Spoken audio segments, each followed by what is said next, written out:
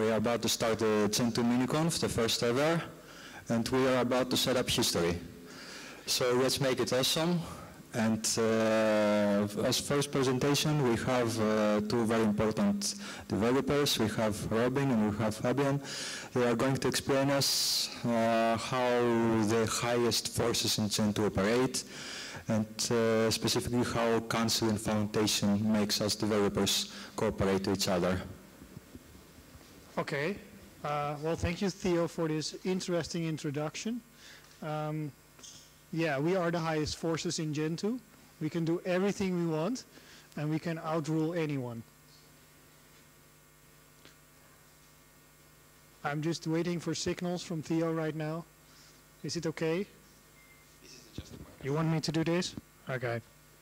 Uh, I'm going to first give you a little bit of uh, insight about the Gentoo Council, and after I'm done, I'm going to hand over this headset to uh, Robin, uh, and he will do a talk about the trustees. So, um, my name is Fabian Groffen. The first one that was on the slide, Grobian, is my nickname, and um, well, the birth of Gentoo is basically where it all starts because uh, the foundation and the council basically came from uh, a, a, kind of uh, situation that was left behind uh, after uh, the founder of Gentoo, Daniel Robbins, uh, left the project more or less. Um, he, he, founded Gentoo as project and then he was everything. He was like a king in his own empire and he controlled everything.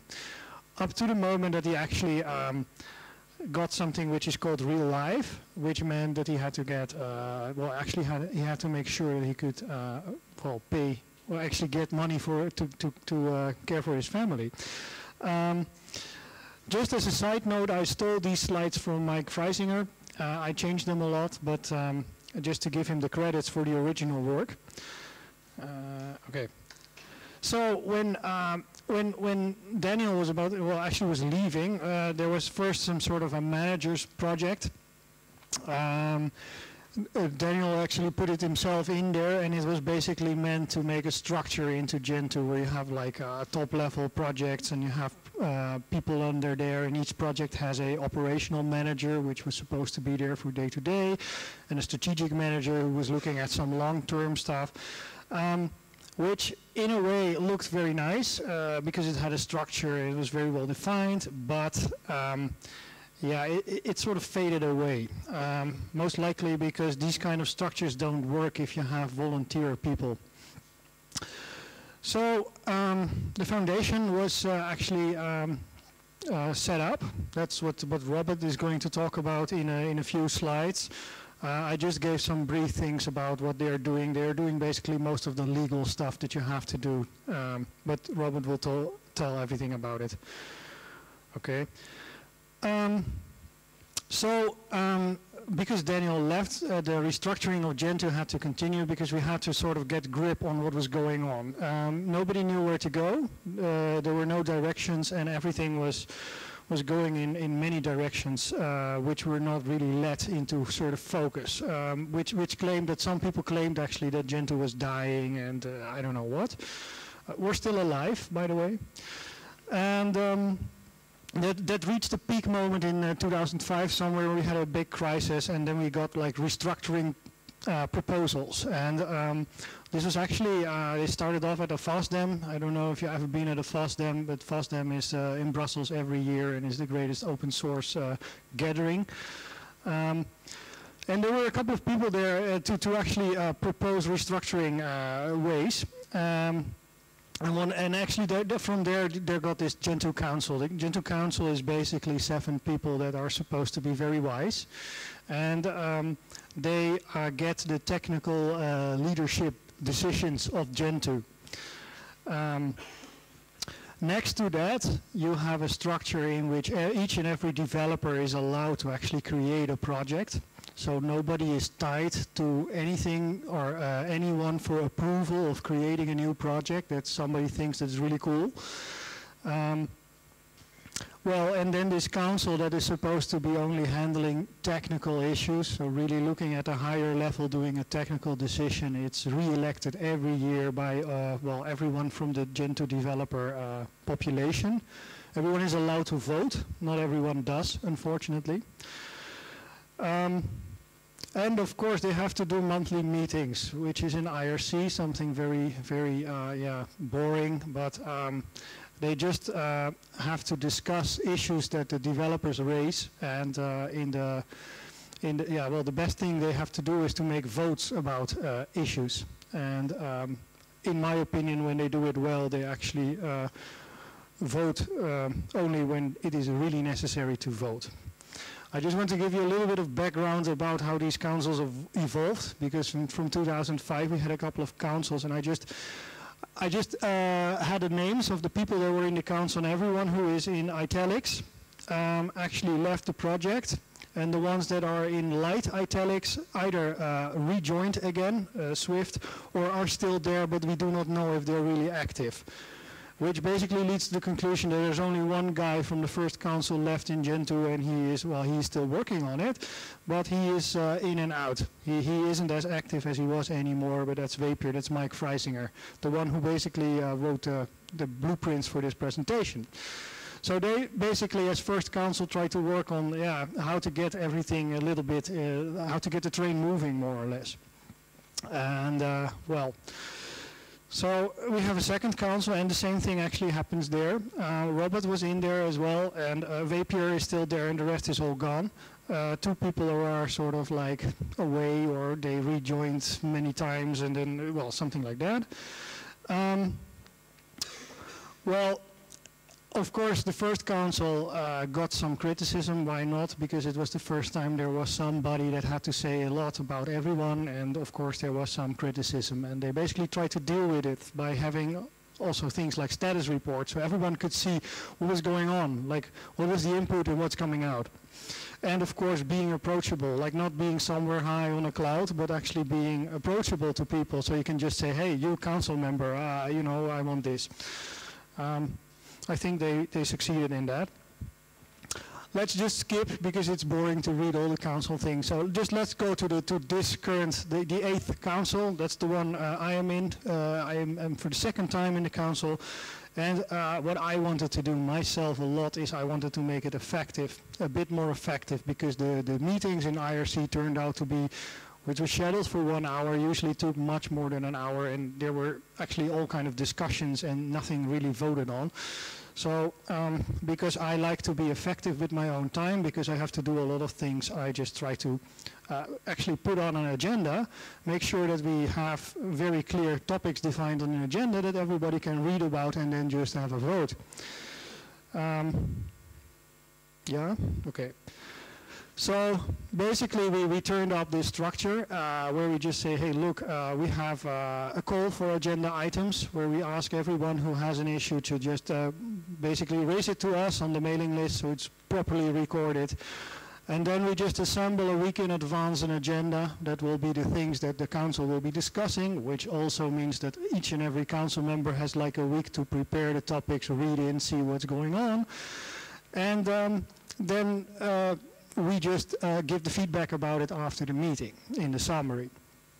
Uh, important thing to note is that uh, in my opinion, the council is absolutely not there to force, like if you have one developer who likes to do style X, that he goes to the council and asks the council to do a vote in favor of that one and that we force everyone to do that style. That's not the way that the council should be because the council should focus on these technical, higher scope decisions. Um, so that also means that we just deny certain uh, requests from developers because you can just solve them actually by talking to uh, to people uh, among, yeah. So um, basically the biggest thing that we do is we vote on eAPIs. That is for Gentoo speak. It's basically sort of a versioning scheme of telling what is available in the in our ebuild system. The the the well actually for insiders non-insiders, I should say. That's basically our format that describes how a package is built. And um, yeah, um, that's basically where we come in as a sort of a group of old wise men, even though we're not really old, and I'm not sure if we're always that wise. Uh, okay, well, this is basically that it's free, and that means I can hand over uh, the headphone headset if there are any questions, I think it's not cool to do it in between, but I'm really open for questions.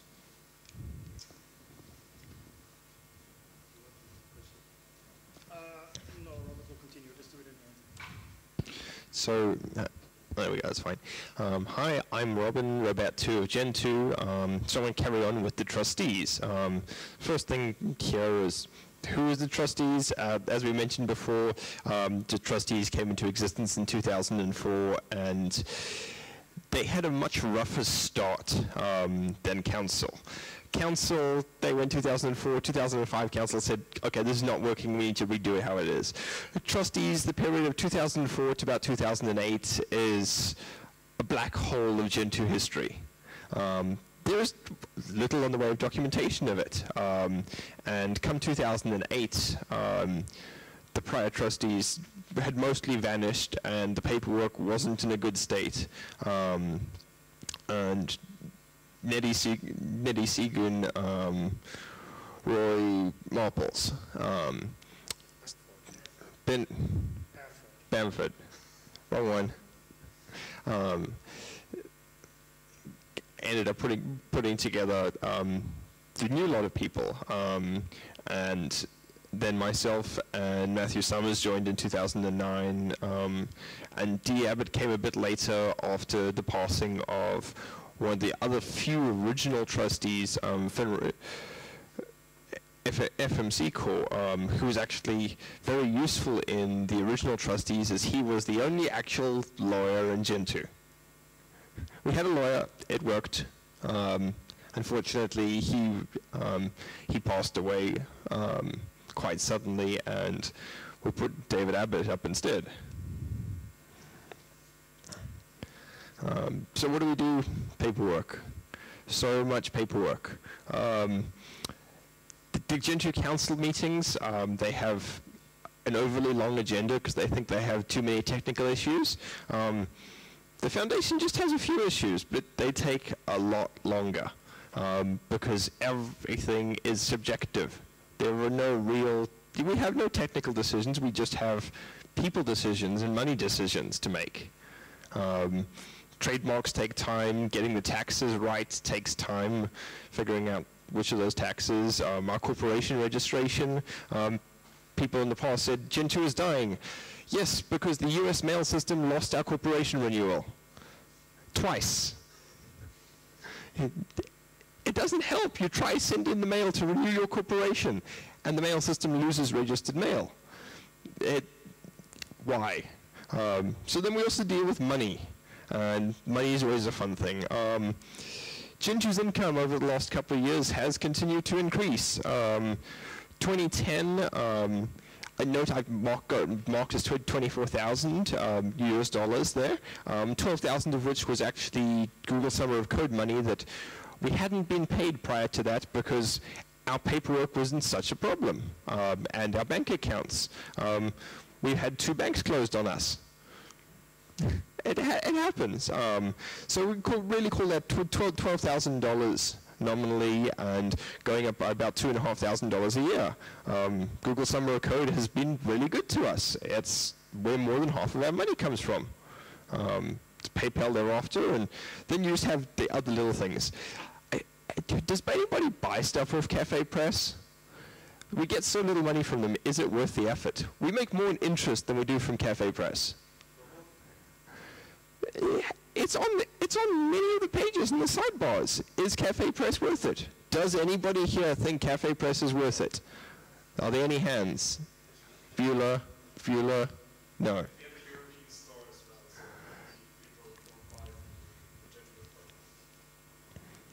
Um, so where's the money end up going? Um, we have an accountant now. Um, that's really helped with getting uh, more of their paperwork and stuff. Our trademarks in the corporation side, um, we've been lucky. There's a US law firm that's handled our trademark stuff. Um, the actual them processing it has been mostly pro bono, and then we just have to pay for the actual legal fees for the trademark. Um, the corporation stuff we've always had to pay as well. Um, for money, um, infrastructure has a nominal budget of $2,000 a year if random bits and pieces break, we have to use stuff from that $2,000. Um, other major things um, have to be approved, first of all. Um, there's the same same forms for major expenditures that every other developer fills out for money. Um, and I'd like to thank Google for some matching donations on some hardware. Uh, I think Alec is not here. Was he gone and drunk this morning? So as I said, there's those forms for people to fill out for money, um, mostly for developers that want interesting hardware. Um, we've bought a number of MIPS and ARM development machines, um, and then other developers with their development machines saying, we need more hard drives or more store, uh, more RAM for those machines. And as the foundation says, sure, fill out this form and we will send you the money or the hardware, depending which is more effective for you. Um, some cases, shipping can be really expensive. Um, other times, it's cheaper to buy the hardware in North America and ship it to a developer elsewhere. Um, and then lastly, conference money. Um, Gentoo has a number of posters, banners, um, and other conference material. And in a bunch of conference cases, we asked if you want to make um, DVDs to give out at the conference, um, just approach the trustees and we'll put some money aside for you um, for whatever paper, other papers and those blank DVDs for you. Um, it is what mostly trustees do. Um, it is a boring job. Um, paperwork is boring. Um, how do we get more people interested in boring paperwork? I don't know. The age of the trustees, I'm the youngest one at 30. Everybody else is beyond that. The average age of council is several years younger. Um, who's the wise old man? Uh, I don't know. Um, does it make a difference? One of the few things I want to, I want to mention is something different. Um, we were so concerned about losing some of this knowledge um, is that all the, the, trustees elections are actually for a two-year term, um, and we have over, overlapping periods, so there's an election every year still, but only half of the people are going to go away, because we want to try and keep that knowledge. Are there any better ways to do it? I'm really open for suggestions as to keeping that knowledge. Um, but I don't think anybody in here has suggestions. Uh, I think that's the last one. Yes, that's the last one. So, who has questions? I'll do trustees first, and I'll hand over for council questions. Yes, Petrai at the back. Wait, wait, wait, wait, wait.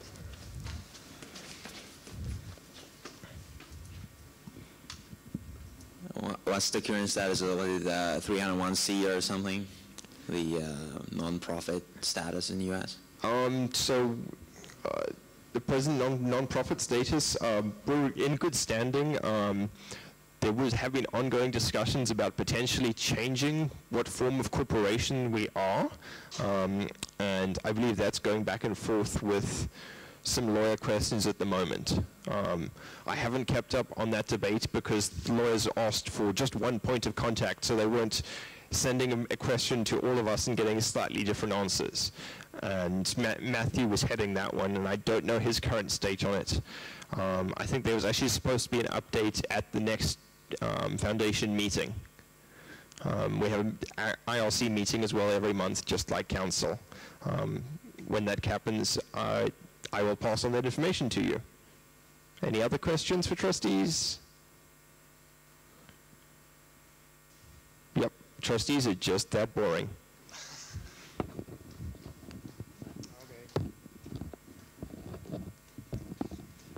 Well, maybe is there anyone who has a question on the council? Then you don't have to install it.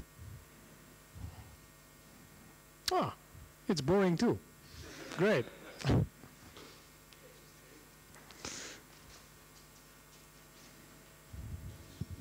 Thank you. Uh, can you say something? Uh, you say so, some many things about the history. Can you say something about the future, your plans, or may, maybe the Gentoo Foundation plans, or some what is what is planning to be in future changes? Okay. Well, um, basically, what what are the plans for the future in the council kind of way? Um, and uh, and foundation as well. I, I I personally think that the council is not um, really a, a, body that should initiate any actions. I think the action should come from the developer community. Can be council members themselves, but the council should basically only be sort of the, the, the, the minimal uh, step.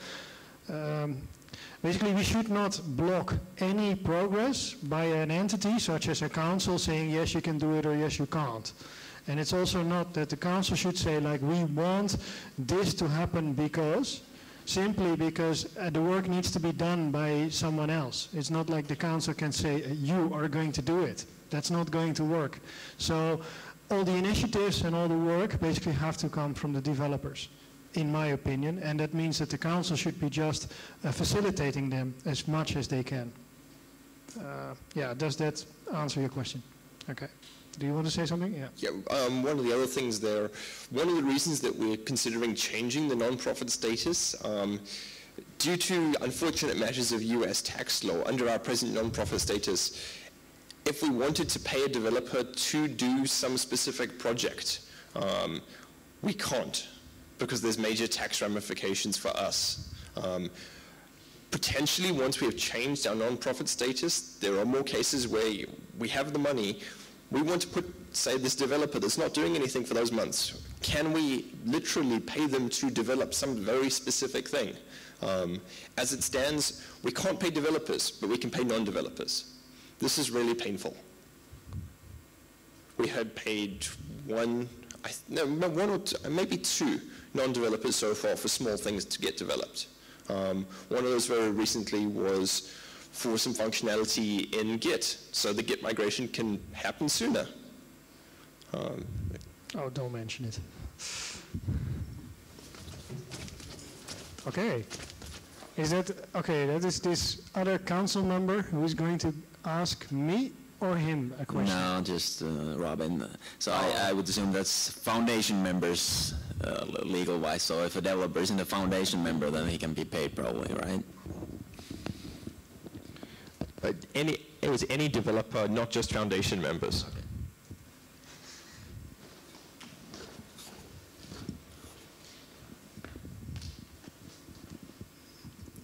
But what about um, Google Summer of Code? Um, you, you, mentioned that you, under being a nonprofit, you have trouble paying developers for, for certain features, but what about um, what Google Summer of Code is, is, is paying for interns? Uh, so the money we've been getting for Google Summer of Code, for every success, um, every project out of the Summer of Code, we get $500 per project going to um, the foundation. Um, we're presently just taking most of that money. It's bought a fair quantity of hardware that we've used, including there was actually a machine deliberately for Summer of Code so that all the students would have a machine to do work on. Um, we haven't passed on any of that $500 to developers because of that same legal issue.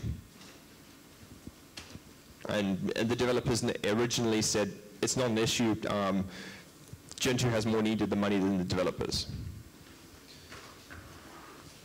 Okay, thank you guys. Uh, we don't have time for more questions. If you have anything else to say to those guys, feel free to bug them around.